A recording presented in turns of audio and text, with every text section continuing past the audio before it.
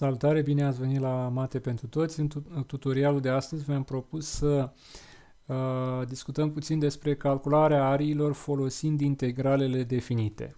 De exemplu, în acest desen am uh, reprezentat grafic funcția f de x egal cu x. Este o funcție de gradul întâi, de aceea reprezentarea grafică a sa este o dreaptă, dreaptă ce trece prin origine. Și ne propunem să determinăm aria acestui patru și anume aria acestui trapez, uh, trapez dreptunghic. Cum putem determina aria acestui trapez? Observăm că acest trapez este marginit sus de reprezentarea grafică a funcției f, pe verticală de două ecuații, de două drepte mai bine zis, ce au ecuațiile x egal cu 1, x egal cu 2, iar jos de reprezentarea de axa OX. Această arie poate fi găsită cu formula integrală de la 1 la 2 din uh, f de x. Mai exact din modul de f de x, dar pentru că de ce considerăm aici modulul? Pentru că ne interesează ca uh, valorile acestei funcții uh, să fie pozitive, pentru că altfel aria aș obține sub forma unui, aș obține sub forma unui număr negativ. În cazul nostru, pe intervalul 1-2, observăm că funcția noastră f de x egal cu x ia valori pozitive, de aceea putem să spunem că aria este egală mai departe cu integrală de la 1 la 2 din f de x de x. De aceea, de fiecare dată când ne propunem să găsim aria, ne asigurăm că valorile funcției pe intervalul AB, în cazul de față 1-2, valorile funcției sunt pozitive, pentru că dacă valorile sunt negative, atunci rezultatul va fi un număr negativ. De aceea trebuie să luăm rezultatul în modul. Să ne asigurăm că valoarea este pozitivă. Vă voi da imediat un exemplu, dar întâi să terminăm de efectuat calculul acestei integrale. Vom obține integrală de la 1 la 2 din f de x, funcția noastră am zis că este x. Am considerat acest exemplu pentru că este mai ușor de calculat și de înțeles. Uh, mai departe, integrală din x, știm că este x pătrat supra 2. De la 1 la 2, obținem 2 la pătrat supra 2 minus 1 la pătrat supra 2. 4 pe 2 minus 1 pe 2 este egal cu 3 pe 2 s-au transformat uh, fracția ordinară 3 pe 2 în fracții zecimale, este 1,5. Observați, exact asta îmi arată și aici. Am uh, realizat acest desen folosind uh, programul GeoGebra și în program am posibilitatea de a calcula automat cât este aria corespunzătoare acestui patru Dacă doriți să vedeți cum se utilizează programul GeoGebra. Pe acest canal veți întâlni două tutoriale despre programul GeoGebra. Revenind, valoarea 1,5 reprezintă aria acestui uh, 4 later mărginit de cine? De reprezentarea grafică a funcției f, de axa OX jos, iar pe verticală de cele două drepte de ecuații x egal cu 1, x egal cu 2. Ce s-ar întâmpla dacă funcția noastră, să zicem notez cu g de x, ar fi minus x, atunci reprezentarea grafică a funcției noastre ar fi aceasta.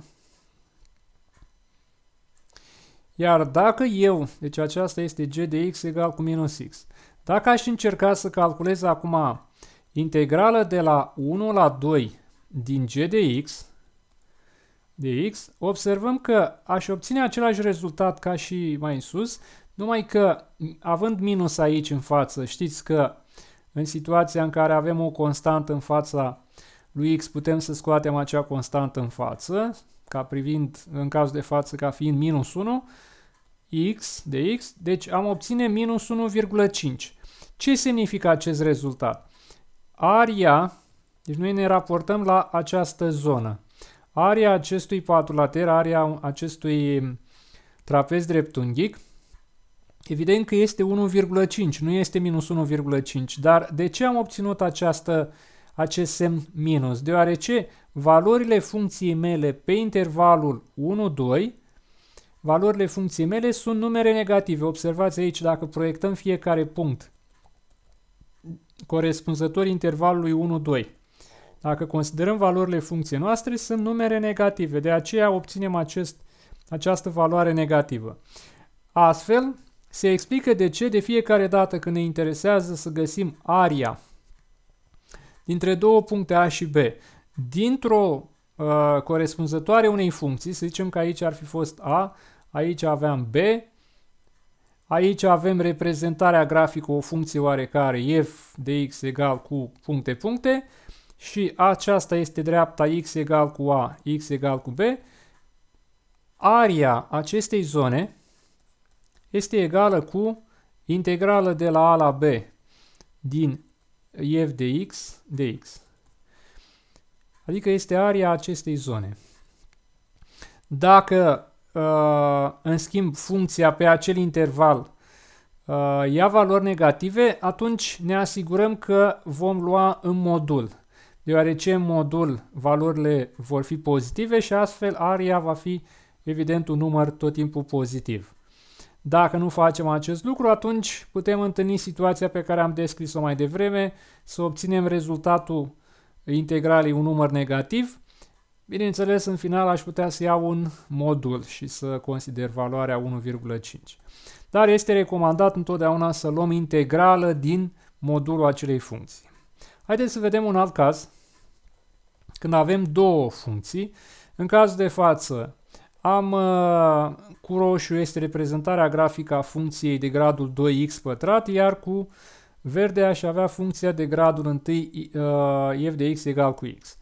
Ce ne propunem să calculăm? Ne propunem să calculăm zona, area acestei zone, adică zona cuprinsă între uh, reprezentarea grafică a funcției f, care este această dreaptă, reprezentarea grafică a funcției g și la extremități aici avem dreptele de ecuații x egal cu 0 și x egal cu 1. Această arie se poate demonstra că este egală cu și este într-un fel analog cu ce am discutat mai devreme, adică va fi integrală, integrală de la 0 la 1, adică între aceste două valori, deoarece aici extremitatea este în 0, aici este în 1, de la 0 la 1, din cine? Din modul de diferența celor două funcții. În cazul de față, este recomandat să verificăm care dintre cele două funcții au punctele situate deasupra. În cazul de față se vede foarte clar că funcția de gradul 1 f de x egal cu x are punctele situate deasupra. Reprezentarea grafică corespunde acestui segment care este deasupra acestui arc și aria corespunzătoare va fi f de x minus g de x. Bineînțeles, de x. Uh, mai exact ce am făcut? Am uh, scăzut, am considerat funcția care era deasupra f de x, cea care este jos aici este g de x și efectuăm diferența. Atunci, dacă ne interesa, de exemplu, aria acestui triunghi pe care eu îl voi evidenția, de exemplu, să luăm acest triunghi. Dacă aș fi dorit să găsesc aria acestui triunghi dreptunghic, atunci aș fi luat integrală de la 0 la 1, deoarece uh, reprezentarea sau zona aceea Uh, ce prezenta interes era între dreptele de ecuații x egal cu 0 și x egal cu 1 și din, uh, în integral aș fi luat funcția f de x. De ce doar f de x? Pentru că jos mărginirea era făcută de axa, uh, axa OX, iar axei OX pot să-i pun în corespondență ecuația y egal cu 0 sau o funcție g de x egal cu 0. Practic, g de x de aici, dacă l-aș înlocui cu 0, aș obține integrala de la 0 la 1 din funcția mea. Și ce mi-ar da? Ce aș obține aici? Aș obține uh, valoarea acest, ariei acestui triunghi dreptunghic. Aici este 1, aici este 1. Știți că area unui triunghi dreptunghi este cateta 1 ori cateta 2 supra 2. Mi-ar fi dat 0,5. Exact același lucru obțin dacă calculez integrarea de la 0 la 1 din x. Integrala este x pătrat pe 2, de la 0 la 1 obțin 1 pe 2 minus 0 pe 2, adică exact 0,5 sau 1 pe 2. Dacă în schimb avem două funcții, atunci trebuie să scriu, să scriu aici în integrală diferența dintre funcția care este situată deasupra minus funcția care este situ situată de desubt. De unde știam, dacă să zicem că nu aș fi știut să reprezint grafic funcția f uh, și funcția g, de unde știam că funcția g este situată sub axa sub funcția f de x sau punctele de pe reprezentarea grafică a funcției de gradul 2, de unde știam că sunt situate sub axa, uh, sub dreapta corespunzătoare funcției f de x. Aș fi uh, arătat că pe intervalul 0,1 funcția mea era, funcția de gradul 2 este o funcție convexă. Cum? g derivat este 2x, deoarece x pătrat este funcția g, prin derivare obțin 2x. Cum x este mai mare ca 0 pe intervalul 0,1, deducem că uh, funcția respectivă pe acest interval este crescătoare, mai calculăm încă o dată derivata, obținem 2, care e strict mai mare ca 0, deci însemna că g este o funcție convexă. Convexă. Pe intervalul 0,1.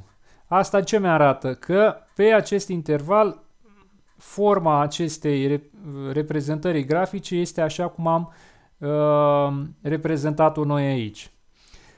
În final, înlocuiesc f de x și g de x și să vedem cât obținem uh, acea arie, integrarea de la 0 la 1.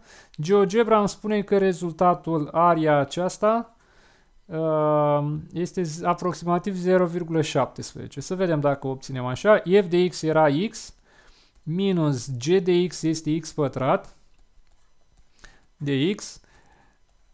Scriem sub forma a două integrale, integrala din x de x minus integrala de la 0 la 1 din x pătrat de x și integrăm. Integrala din x este x pătrat pe 2 de la 0 la 1 minus x la a treia pe 3 de la 0 la 1. Înlocuim, obținem 1 pe 2 minus 0 pe 2, primul rezultat, minus 1 pe 3 minus 0 pe 3, al doilea rezultat. Când calculăm, termenii cu 0 ne mai luăm în calcul, 1 pe 2 minus 1 pe 3. Aducem la același numitor, numitorul comun este 6, amplificăm prima cu 2, cealaltă cu 3, invers, cu 3 și 2 și obținem 3 pe 6 minus 2 pe 6, 1 pe 6. Dacă împărțim 1 la 6, a trebuit să ne dea valoarea de aici, să vedem, 6 în 1 de 0 ori, 6 în 10 odată, rămâne 4, 6 în 40 de 6 ori și după aceea se repetă. Deci 0,17 ar fi valoarea aproximativă a acestei uh, zone delimitată de reprezentarea grafică a funcției de gradul 2 x pătrat și de reprezentarea grafică a funcției de gradul 1 x. Valoarea exactă aici era 0,1 perioadă 6, dar, așa cum am spus, GeoGebra aproximează acest, uh, uh, acest rezultat.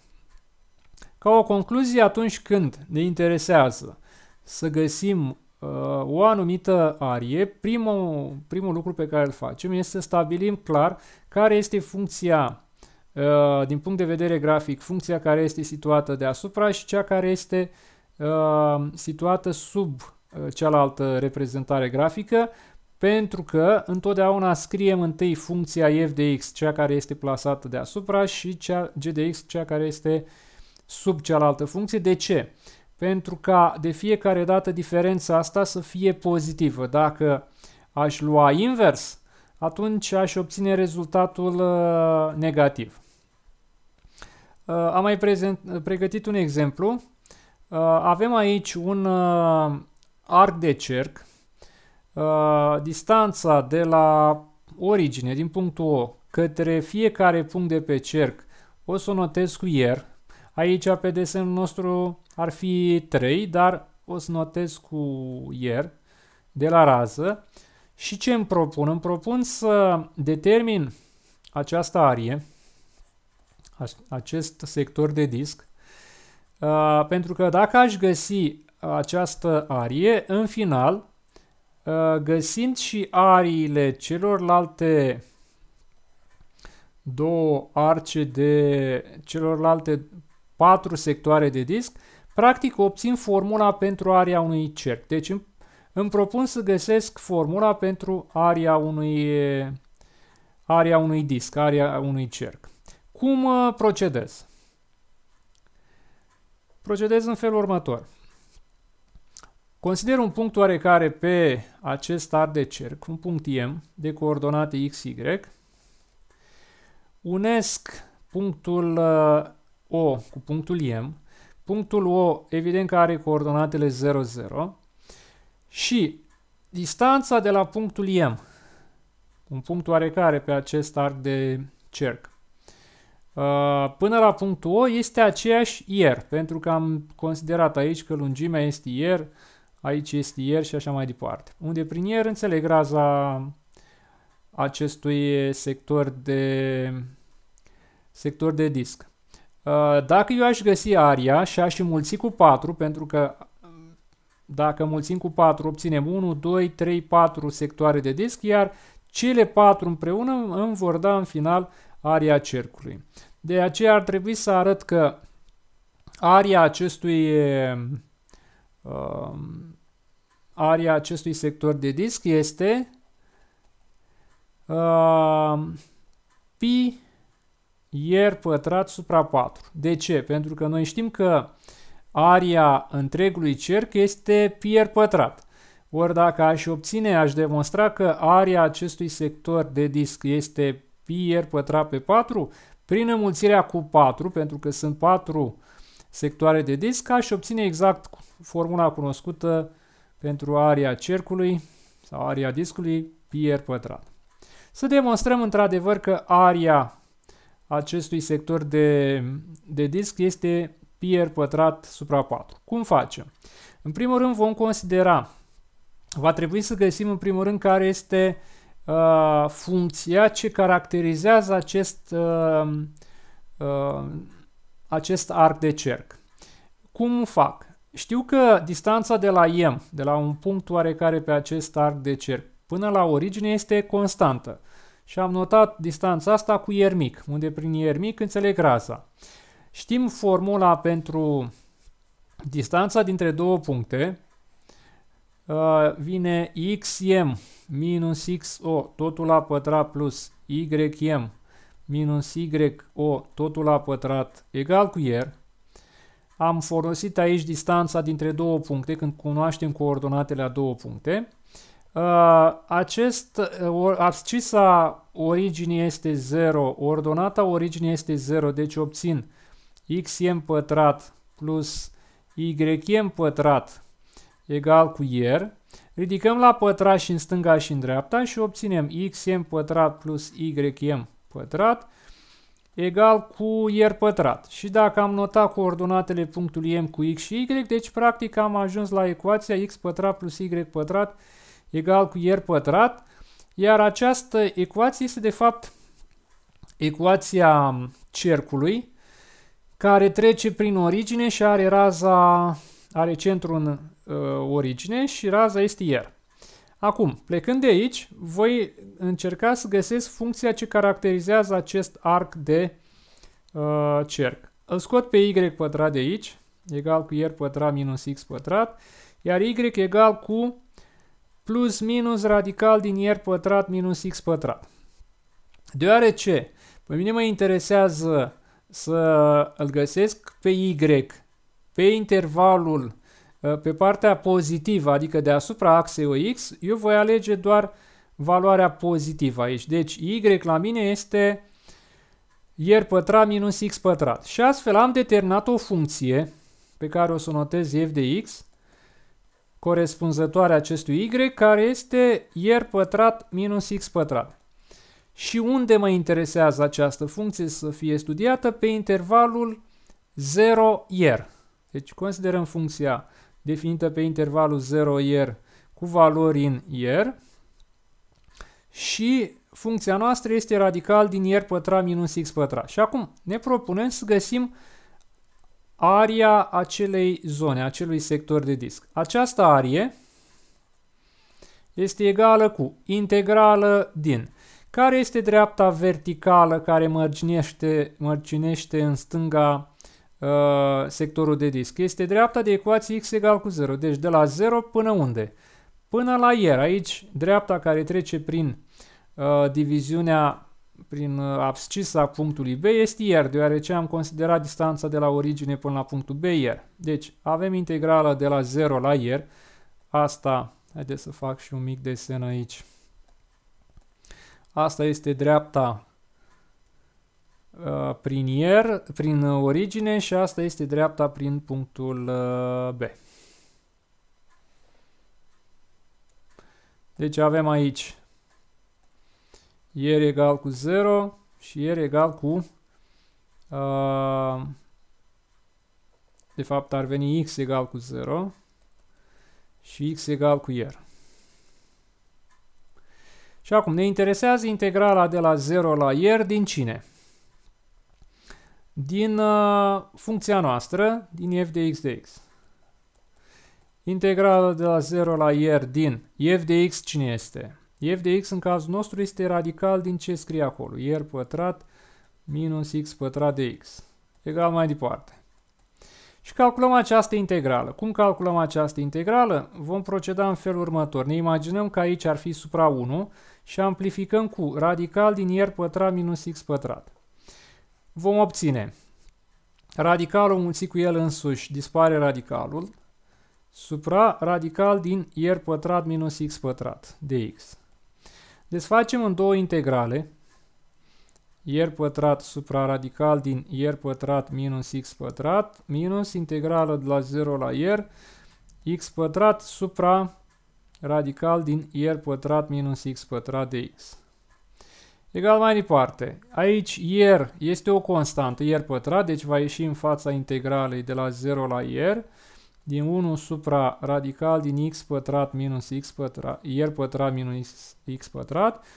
Iar aici voi face următorul artificiu de calcul. Voi scrie aici plus 0 ier, iar aici voi scrie așa x și minus x supra radical din ier pătrat minus x pătrat de x. Deci am uh, scris uh, sub această formă. Observați, dacă aș scoate minusul în față, ar fi minus x pătrat supra radicalul acesta. De ce am preferat așa? Pentru că știm că uh, derivata uh, unei funcții uh, unei funcții în radical, radical din u, este 1 supra 2 radical din u, ori u derivat. u derivat îl pun deasupra. Ori în cazul meu, radical din ier pătrat minus x pătrat prin derivare ar fi interiorul radicalului derivat este minus 2x supra 2 radical din ce scrie acolo. Ori prin uh, simplificare cu 2 obținem minus x supra radical din ier pătrat minus x pătrat.